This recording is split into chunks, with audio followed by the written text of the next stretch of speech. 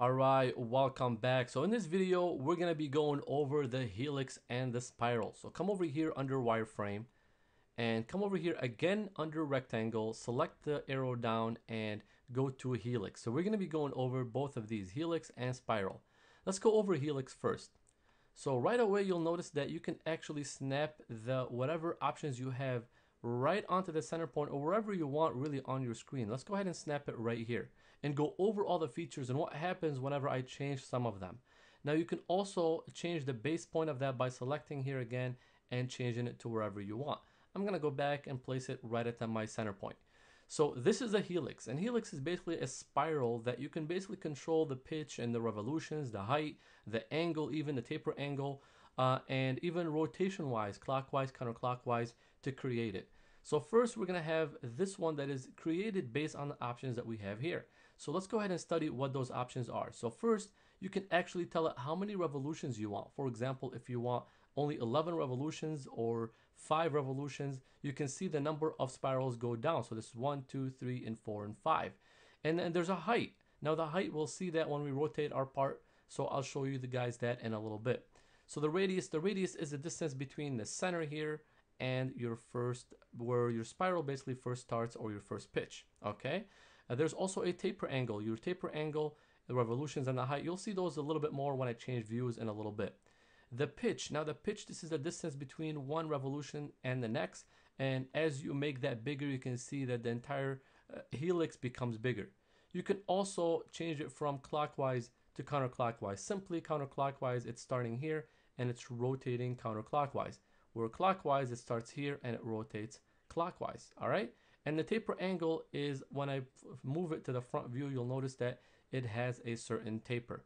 All right, so I'm gonna leave it at that and go ahead and select OK and OK over here. Now I'll rotate this to the front view right here and you'll notice that. So there's my five revolutions and you can see that this is my 39 degree taper that I've also created. And the distance between here, each uh, revolution is the pitch uh, distances which I've already checked as well. You also notice that for the helix, you can select that entire helix and delete that. So if you select the entire one, press delete, it will delete everything.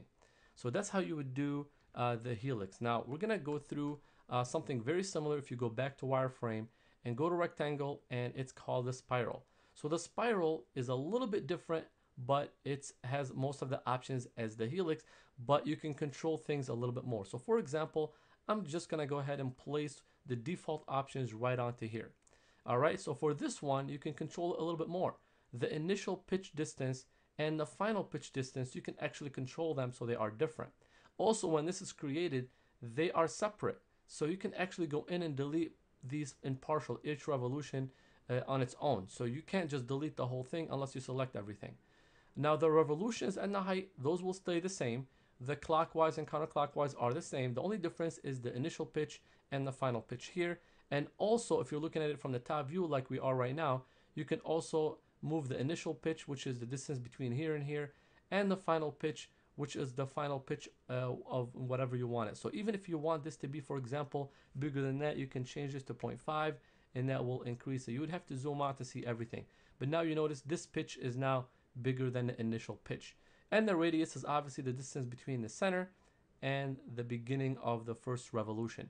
But everything else is really the same. So if I select apply and OK, I'm going to go ahead and place this into my front view. So go to view and place into the front view and there you go.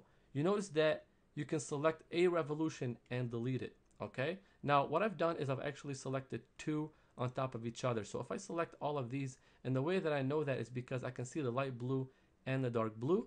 So now, there you go. I've actually deleted some of them that are the light blue ones, which is okay. We can leave it at that. But you notice that you can actually select and delete certain pitches on their own, unlike the Helix, which you can actually delete the whole thing when you select it. So they're very similar, just a little bit more options over here um, that you can play around with. And uh, that uh, concludes this session for going over the Helix and the Spiral.